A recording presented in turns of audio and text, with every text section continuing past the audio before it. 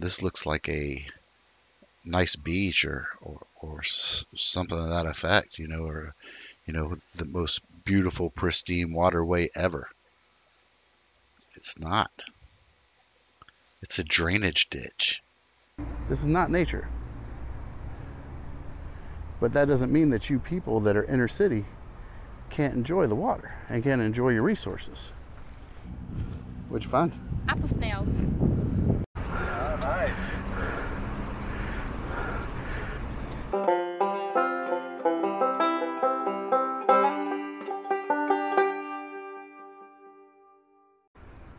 So, it's not always out in the parks, out in the woods. Uh, nature's everywhere. I'm right by a main road. I'm behind a barber shop in the middle of town. There's what you would think driving by is a dirty creek. But if you look, it's crystal clear. There's beer bottles, there's everything in it, but it's crystal clear. And because of that, there's fish there. There's fish there. There's fish there.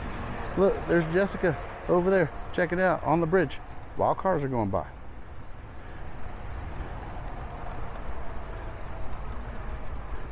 And this is, I promise you, a very urban area. We are not anywhere near nature. But we're to dip some some nets in here. We're to actually get in there.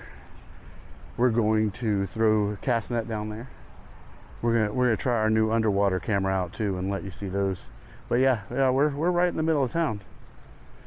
There's there's this isn't nature. This is inner city. There's just a creek that passes through the city. And we have resources everywhere. Don't be scared to get down in the water. Don't be scared to get down in your resources. Don't worry about what everybody else thinks. Or if they would fish here, or if they think the water's dirty. Let me tell you something, there's a lot of fish down there. I see bass, bluegill, I see black acaras, I see Florida spotted gar. I see, um, I just saw a little mud turtle. We saw a couple channel cats. We saw a hoplo catfish over there. Uh, and those are just the big ones that we can see from the surface. Next to a barber shop. That's the air compressor kicking on. Right there. So, yeah, get out and do it, man. We're getting this water black acaras. So Jess grabbed the camera so that I can try to cast it down there. Hey, guess what we didn't see down here? We didn't see plecos. There they are. Uh, get out of that rock. Get out of that rock. There are, you think you know that there's a lot of fish down there? Until you throw your net and then it shows you exactly how many fish there are down there. I don't know that I got any, but I saw a bunch. I don't see any in the net, but like I said, that water is crystal clear.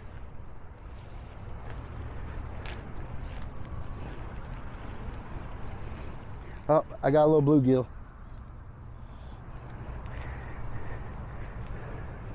Little bluegill he, he's going to take the express route back to his home. Go, little guy. Shoo. Man, he, if he was a, an Olympic diver, he would have done wonderful because there was no splash or nothing. He went head first. There's some plastic. We're going to keep that out. A lot of them went under that. I think it's hydrilla. Is that is it hydrilla, Jess? Yeah we call it hydrilla. I'm not, not sure if it's hydrilla, but there's some awesome black acaras right there. I'll see if I can throw it that far and get them around the rock. That's a big black acara. Black acaras get to about eight inches. I figure if I throw it further out, up here we got to throw them far because they're seeing us from the bank. Our shadows are casting over the water, so they're seeing any kind of activity that happens. This is probably not the best place to get in. I think if I walk over there, I can walk right.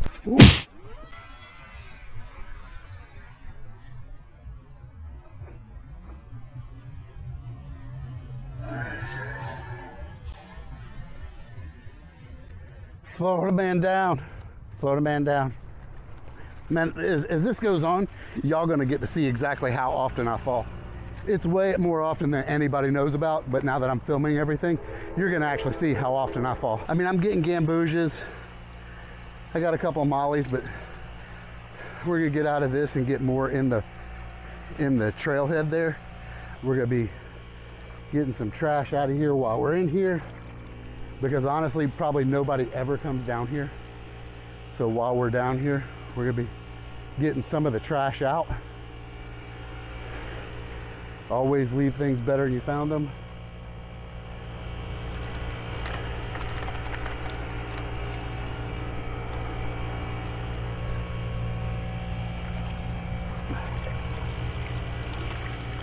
This stuff is like wildfire too. When you plant this in your tank, it grows like crazy.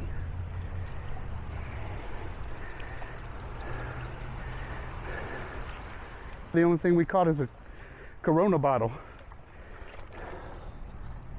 But the, the problem with inner city, man, is just everybody's just real careless with their trash. So it all ends up in the water. Help, I'm being attacked by duckweed. I don't want you go. Man, I need to get on my clothes. Three months later, I have a bad duckweed outbreak in my in every tank I have in my house. By the way, I'm having to do this in my Crocs because my water shoes was in the back of my truck, and last time Aquafunk went out with us, he took one of my shoes. He didn't take both of them. He took one of mine and left me one of his. And he got little baby feet. I can't fit in those things.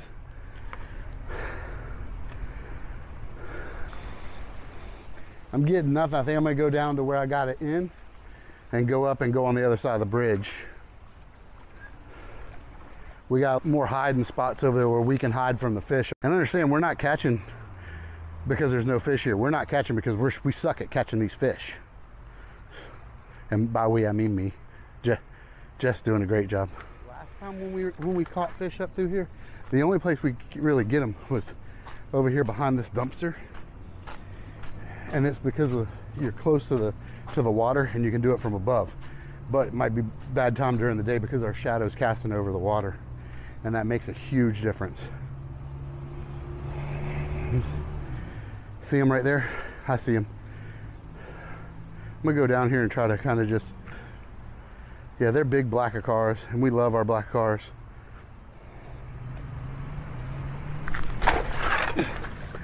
Got him. That is a nice size, big black acara. Huh? That was big. Ah, nice. That's an aquarium fish. That's an aquarium cichlid. Okay. Invasive. But yeah, they're beautiful. Yeah, that's a good one. He's got nice blues in them. And they're all in this area.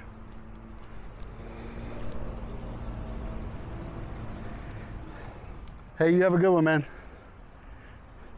People come up and talk to you, man. You just talk to them. They're, they're interested in what you're doing. They think it's cool. You know why? You know why why they think it's cool?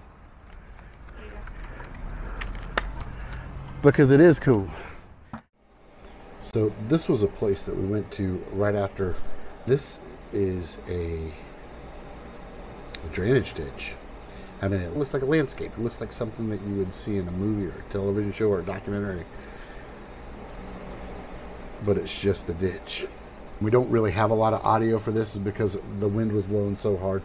All the audio really got blown out. I left some of it in a few of these clips. It's literally a man made dugout spot to collect water running off of people's yards that then goes into our sewer system.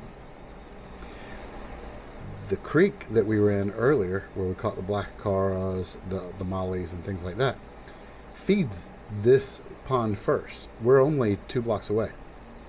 And it goes here, it goes through this tunnel,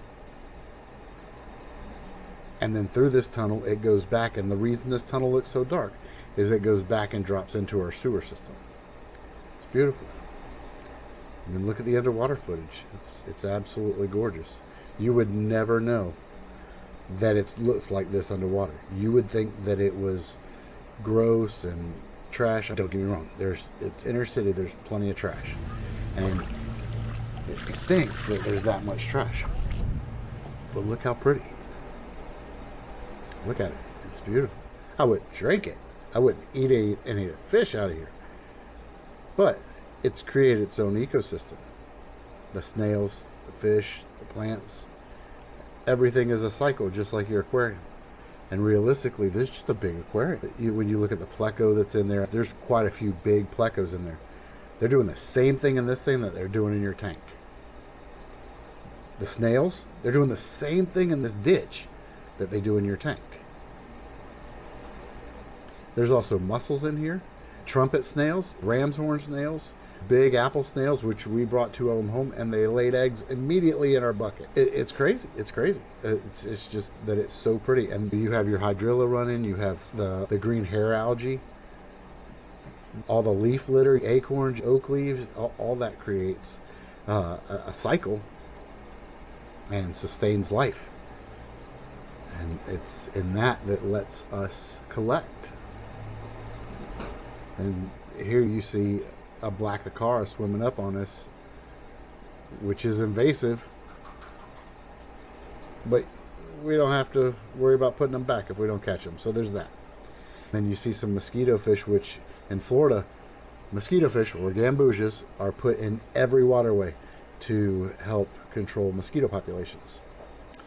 It was too, the hydrilla was too thick to throw the cast nets because as soon as the cast nets go to, to tweak under, it grabs all of the hydrilla, lets all the fish out, and becomes extremely heavy, possibly causing damage to the, the nets. There's a false bottom over on one side of it where the water first comes in, and a false bottom is like a layer of soot mud.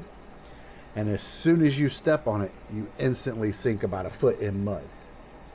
As soon as that happens, you've entered into a territory of all kinds of microorganisms that are helping keep this cycle. But lots of snails and leeches.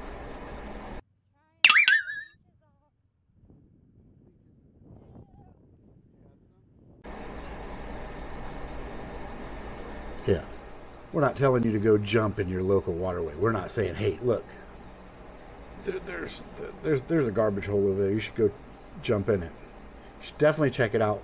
You should check it out in small increments.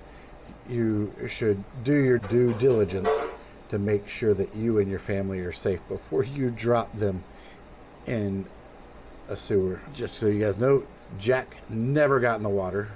Jess barely got in the water, and I'm the dummy.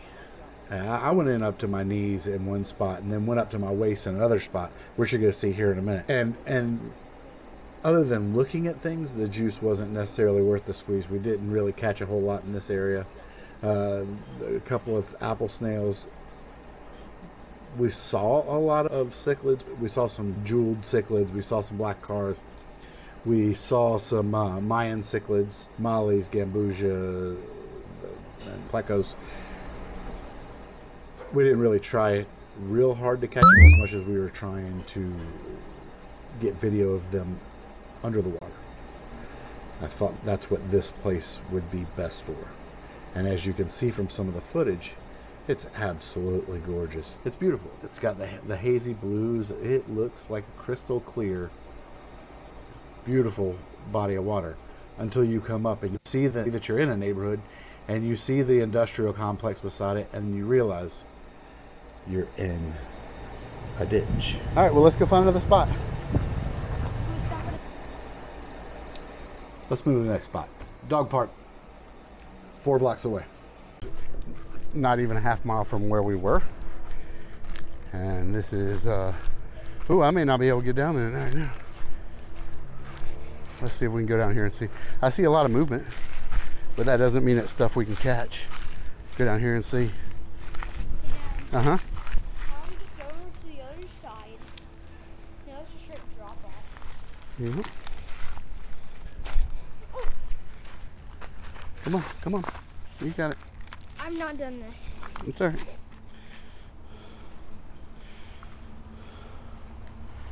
Now we just have to. Yeah, there's. I see a lot up there. Usually this is a little bit deeper.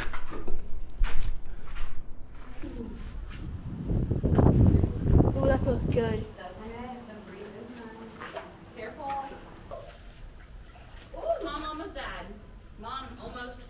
Oh yeah, I'll take that. No, you won't. Yeah, I will. It's gross. I'll just wash it. It's up there. It's trash sitting inside it. You just walk down the middle. It's fine.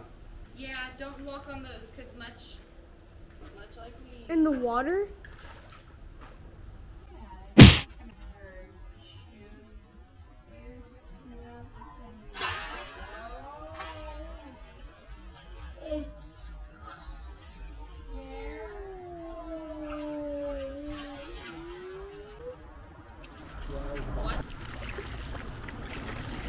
Hopefully, there's no leeches in this water.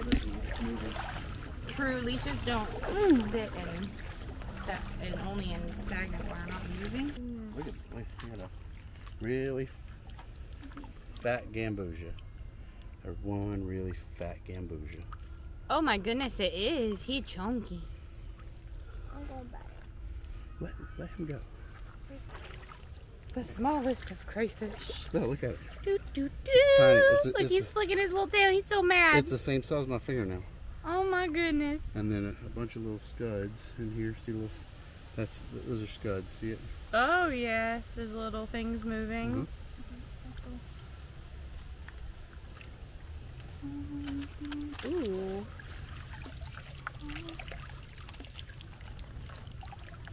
Oh, another little fish. What do we got there? What do we got there? That, that is a molly. Ooh. That is That's my That's- favorite fish. a sailfin molly. I just got a mosquito. How pretty. Wireless And- mic disconnected.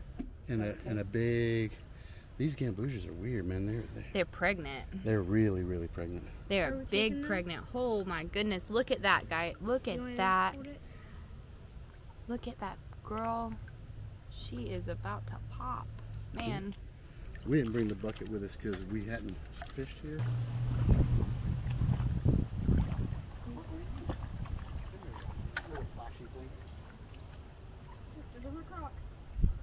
Don't stand on that stuff. There's glass under there. Little bitty molly. Look, A little itty bitty baby Molly. Yeah. I'm coming. Just takes me a little bit to get to you. a little bitty molly. I'm still a little worried about water. Here we go. Look at that little baby. Little baby. Oh, wait, wait, stay still, good. Oh, oh, oh, there's a little hole.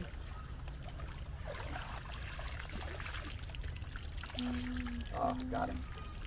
What'd you get? I got a swordtail. Ooh. A male swordtail. Now these are the ones that I, I said that you have to have the. Uh... Oh, I got a bunch of swordtails. Okay, so we're gonna keep this one. Look at oh, that's a nice male swordtail right there. Yeah, they're pretty. They're pretty pretty. And then there's a baby male swordtail. Oh, that they will yeet themselves out of everything. We always lose. Something and they'll yeet. Right out they go. Oh, what's that? Ooh, something sharp in there. It sounds clanky. Shells or just glass. There's some land up there. What is that? If you would like to go there, there's some land. It's, it's some kind of cichlid. But... Wait, what? Oh, it's a jewel cichlid. What? It's a really pretty jewel cichlid. Wow. And Look you can at see the little faceting the jewels. That was that was a good dip, man. Good hit. It was all in that little honey hole right there. That, uh, every bit of it was in. The, oh, there's more. There's like ten uh, of the uh, swordtails in there. Oh wow. There's, that is a really pretty jewel cichlid. Mm, And I lost a couple of the uh, sword tails. the sword tails. There's the two, and There's, there's a really pretty. They make really good aquarium fish if you have a nice tight fitting lid. Um, and as long as you never, these are all males. I, I don't see any females. We're gonna let all these go though because we catch them a lot, and the bucket's too far away, and I don't want to keep them out of the water too long. Let's, let's just do that that spot one more time. What do you say? Let's see if we get anything else.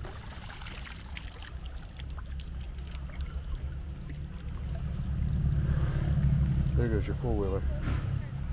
It hit something. We are, uh, again, we're inner city uh, collecting.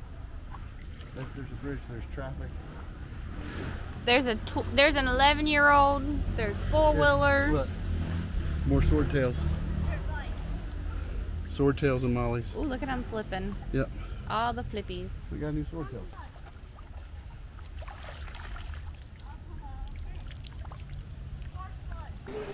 And it was at this moment that they knew that they'd messed up.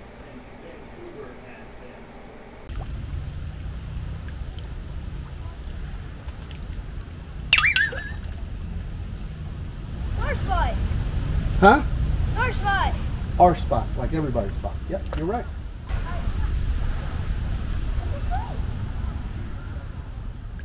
And We, we literally just got turf ward by a couple 11 year olds. Yeah, dude, how old can you be? Like 12? Oh yeah. Um, Just have to do it. So yeah, guys, we totally just got turf ward by a couple 11 year olds trying to push us out, telling us that we were in their spot. but they made like a little basket. Like they got like fishing line. Like they have a plan. They were doing something. Like those boys have a plan. I'm kind of curious as to what the heck's going on now. Ooh.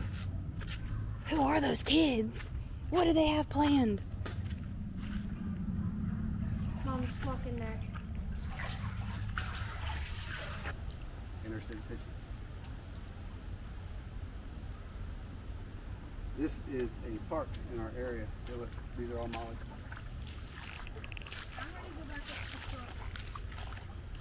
Except for that one that just bounced all the way across the net. That one is a swordtail. or, or what Jack calls the yeet fish. Yeet! Eater fish.